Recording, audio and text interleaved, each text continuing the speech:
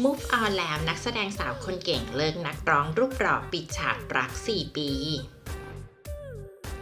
ได้เป็นคุณหมอสมดังตั้งใจแล้วสำหรับสาวสวยปุยเมฆนภศรวีรายุทธวิไลหลังจากทุ่มเทตั้งใจเรียนหมอมานานกว่า 6 ปี ซึ่งต่อจากนี้หมอปุยเมฆนั้นบอกเอาไว้ว่า next station intern และแพทย์พี่เลี้ยง ออโทปิดิสโรงพยาบาลราชบุรี see you soon ค่ะ ชีวิตตอนนี้ประสบความสำเร็จอีกคันแต่เรื่องหัวใจกับสะดุดมีปัญหาโดยล่าสุดหมอปุยเมฆนั้น ยอมรับว่าตอนนี้กลับมาเป็นโสดอีกครั้ง ลดสถานะรุดสุภรุษให้เหลือเพียงพี่น้อง หลังคบหาดูใจกันมานานกว่า 4 ปี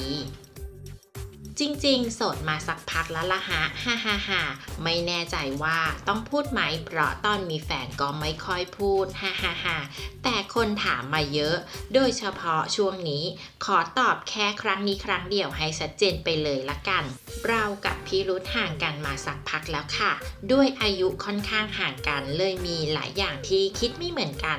มองหลาย ๆ เรื่องคนละมุมมองกัน เลยมีปัญหาให้ต้องพูดคุยกันบ่อยๆ ซึ่งทั้งหมดไม่ใช่พี่รุธไม่ดีและเราไม่ดี แค่เราสองคนอาจยังไม่ดีพอกันแค่นั้นเลย ก็ตกลงเห็นตรงกันว่ากลับมาอยู่ในสถานะพี่น้องกันดีกว่า จบกันด้วยดี พี่รุธยังเป็นพี่ที่น่ารักเสมอฮะ และเวลาเรียนเกือบ 4 ปีที่ผ่านมา ที่เคยอยู่ด้วยกัน เรามีความสุขมากๆ ช่วงนี้ก็คงเป็นช่วงที่ได้กลับมาทบทวนตัวเองอยู่กับตัวเอง เพื่อนๆเยอะขึ้น move on ไปต่อก็แฮปปี้ดีนะ ไม่ค่อยเศร้าแล้วล่ะ ดีขึ้นมากๆแล้ว